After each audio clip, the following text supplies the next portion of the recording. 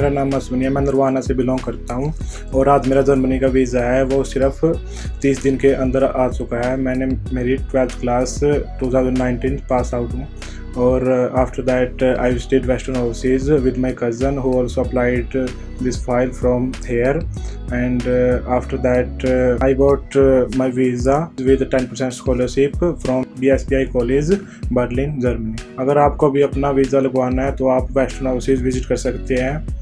इनके पास बहुत ही अच्छा स्टाफ है और गुड सर्विस है। वेस्टर्न ओवरसीज सपने आपके, ज़िम्मेदारी हमारी।